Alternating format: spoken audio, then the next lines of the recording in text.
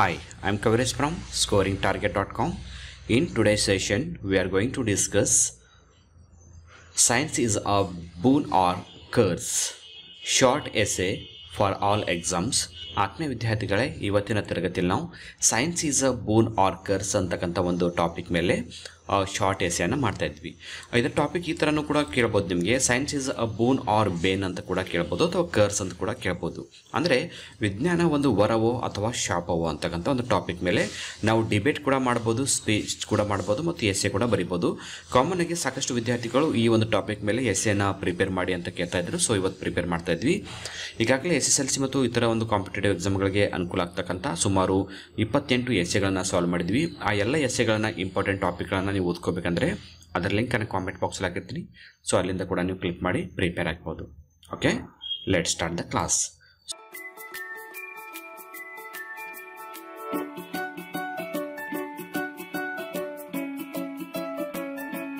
so ವಿಜ್ಞಾನ, ವರನೋ, ಶಾಪನೋ ಅಂತಕ್ಕಂಥ ಒಂದು ಟಾಪಿಕ್ ಬಂದಾಗ ವಿಜ್ಞಾನದಿಂದ ಎಷ್ಟು ಅನುಕೂಲ ಇದೆಯೋ ಅಷ್ಟೇ ಅನಾನುಕೂಲ ಕೂಡ ಇದೆ.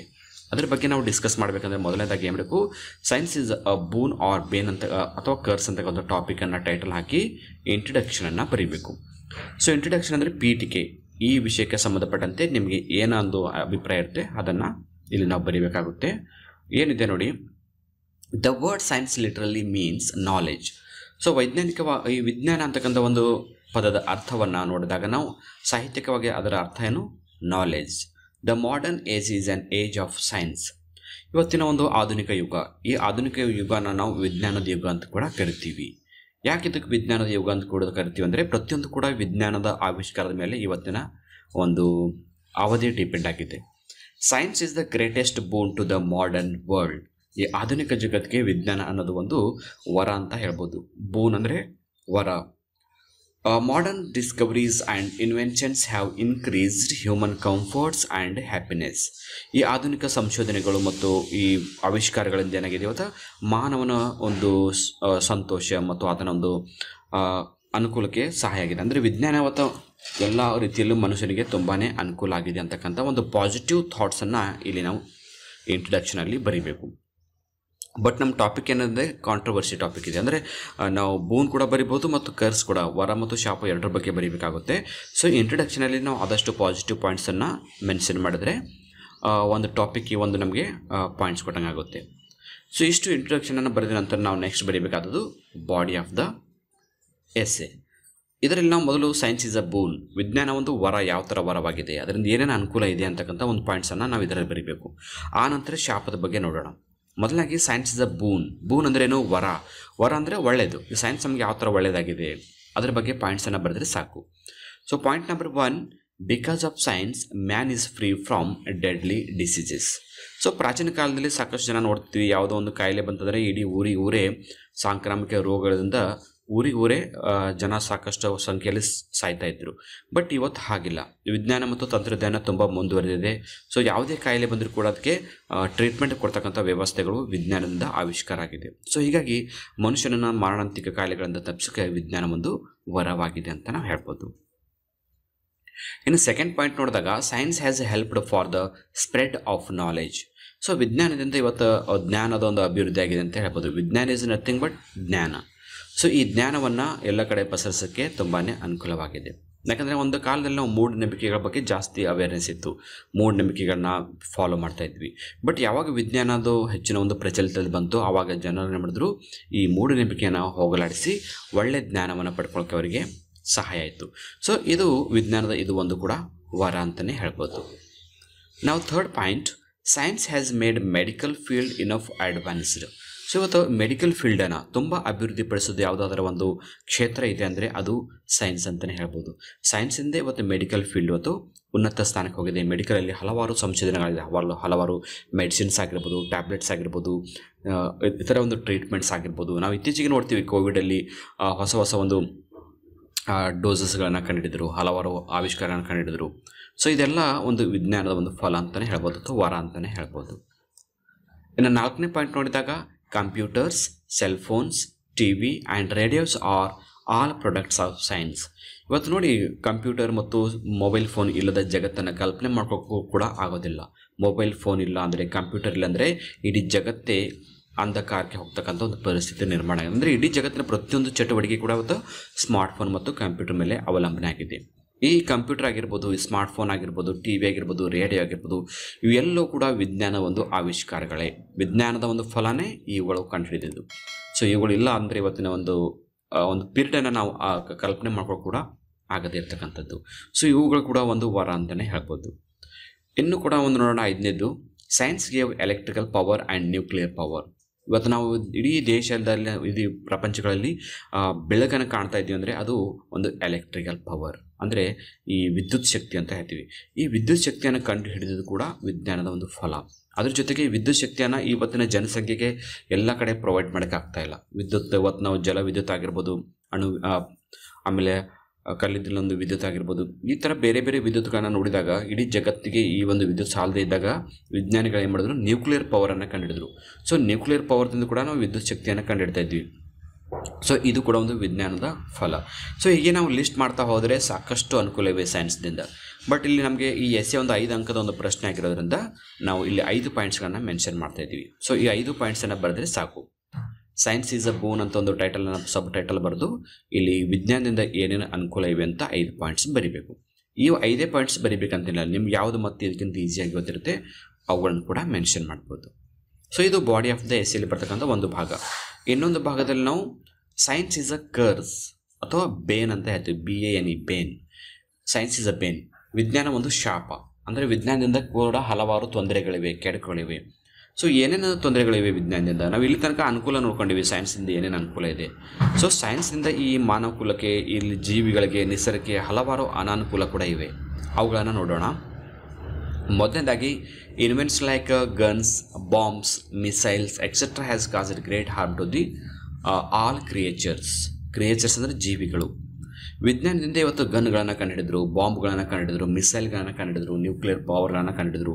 ಸೊ ಇದರೆಲ್ಲ ಏನಾಗ್ತಾ ಇದೆ ಅಂದರೆ ಮಾನವನ ಅವನತಿಗೆ ಕಾರಣ ಆಗ್ತವೆ ದೇಶ ದೇಶದ ಮಧ್ಯೆ ಯುದ್ಧ ಆಗೋದು, ಗನ್ಗಳನ್ನು ಯೂಸ್ ಮಾಡೋದು, ಬಾಂಬ್ಗಳು, ಮಿಸೈಲ್ಗಳನ್ನ ಯುದ್ಧ ಮಾಡಿ ಯುದ್ಧಗಳು ಮಾಡೋ ಮೂಲಕ ಏನಾಗುತ್ತೆ? ಪರಿಸರ ಹಾಳಾಗುತ್ತೆ. ಜೊತೆಗೆ ಎಷ್ಟೋ ಸಾವಿರಾರು ಲಕ್ಷಾನುಗಟ್ಟಲೆ ಜೀವಿಗಳ ಹಾನಿಯಾಗುತ್ತೆ. ಸೊ, ಪ್ರಾಣ ಹಾನಿಯಾಗುತ್ತೆ. ಇದು ವಿಜ್ಞಾನದ ಒಂದು ಶಾಪ ಅಂತಲೇ ಹೇಳ್ಬೋದು.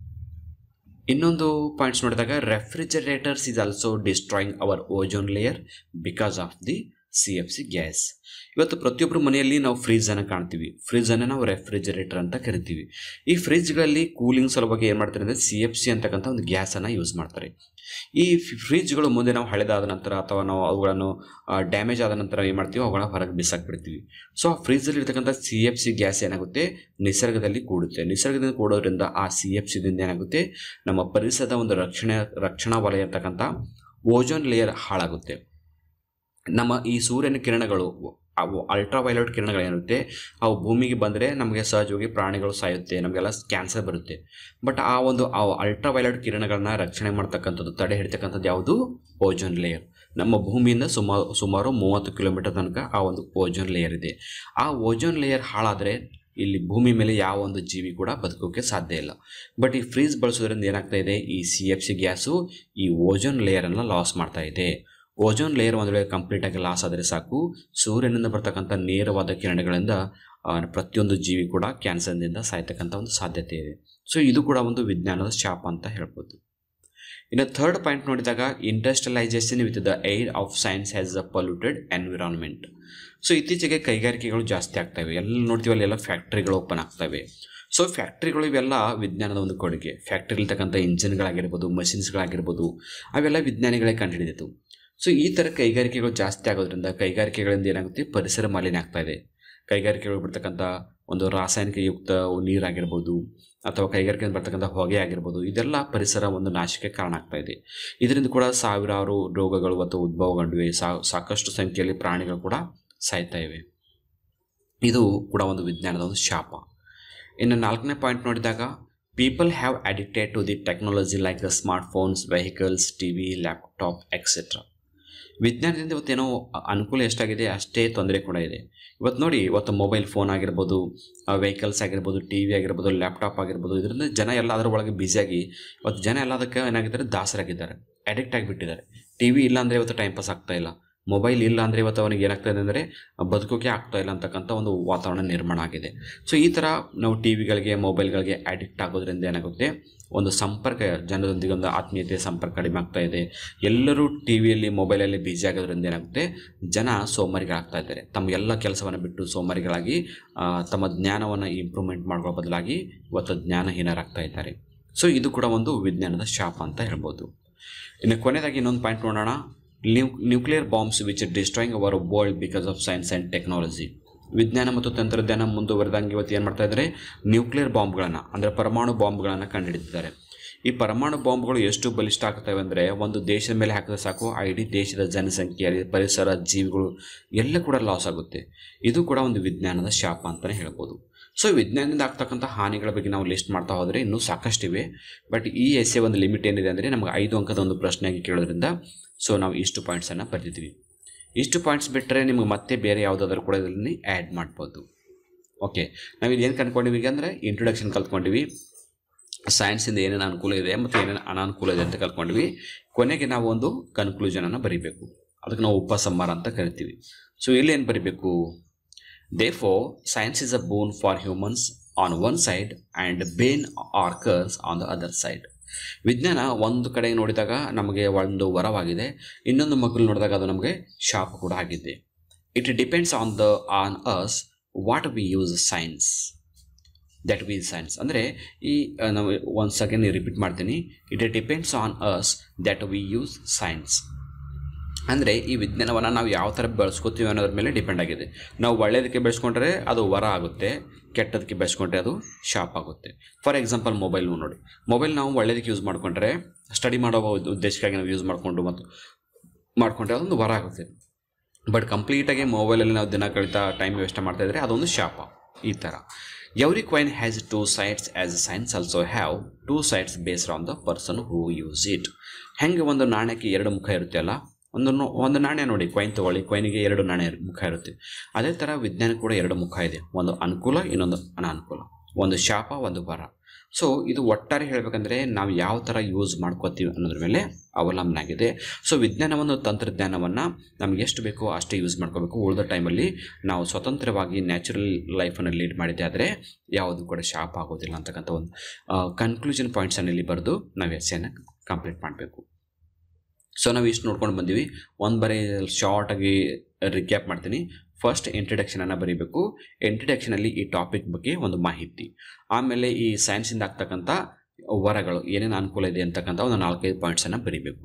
ಇದಾದ ನಂತರ ಸೈನ್ಸಿಂದ ಆಗ್ತಕ್ಕಂಥ ಹಾನಿಗಳು, ಶಾಪ್ಗಳು ಏನೇನಿವೆ, ಅವು ಒಂದು ನಾಲ್ಕೈದು ಪಾಯಿಂಟ್ಸನ್ನು ಬರೀಬೇಕು.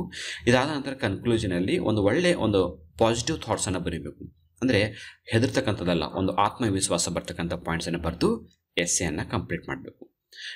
ಇವತ್ತಿನ ಎಸ್ಸೆನ ನೀವು ಬರ್ಕೋಬೇಕಂದ್ರೆ ಅದರ ಲಿಂಕನ್ನು ಕಾಮೆಂಟ್ ಬಾಕ್ಸಲ್ಲಿ ಹಾಕಿರ್ತೀನಿ. ಸೊ ಅಲ್ಲಿ ಕ್ಲಿಕ್ ಮಾಡಿ ನಮ್ಮ ಸ್ಕೋರಿಂಗ್ ಟಾರ್ಗೆಟ್ ಡಾಟ್ ಕಾಮ್ನ ವೆಬ್ಸೈಟ್ ಇರುತ್ತೆ. ಅಲ್ಲಿಂದ ಕೂಡ ಈ ನೋಟ್ಸನ್ನು ನೀವು ಓದ್ಕೋಬೋದು. ಇಲ್ಲಿವರೆಗೆ ನಾನು ಮಾಡಿದಂಥ ಎಲ್ಲ ಎಸ್ಸೆಗಳನ್ನು ನೀವು ಪಡ್ಕೋಬೇಕಂದ್ರೆ ಅದರ ಲಿಂಕನ್ನು ಕೂಡ ಕಾಮೆಂಟ್ ಬಾಕ್ಸಲ್ಲಿ ಹಾಕಿರ್ತೀನಿ. ಸೊ ಅಲ್ಲಿಂದ ಓದ್ಕೊಂಡು ಎಕ್ಸಾಮ್ಗೆ ಪ್ರಿಪೇರ್ ಆಗಿ. ಇವತ್ತಿನ ಕ್ಲಾಸ್ ಬಗ್ಗೆ ನಿಮ್ಮ ಅಭಿಪ್ರಾಯಗಳನ್ನು ಕಾಮೆಂಟ್ ರೂಪದಲ್ಲಿ ಕೊಡಿ. ಈ ವಿಡಿಯೋ ಇಷ್ಟ ಆದರೆ ಒಂದು ಲೈಕ್ ಮಾಡಿ ಮತ್ತು ನಿಮ್ಮೆಲ್ಲ ಫ್ರೆಂಡ್ಸ್ ಗ್ರೂಪಲ್ಲಿ ಶೇರ್ ಮಾಡ್ಕೊಳ್ಳಿ ಅಂತ ಹೇಳ್ತಾ ಇವತ್ತಿನ ಕ್ಲಾಸನ್ನು ಇಲ್ಲಿಗೆ ಮುಗಿಸ್ತಾ ಇದ್ದೀನಿ. So thank you all for watching the video If you like the video, subscribe to our channel to get more videos. Thank you all.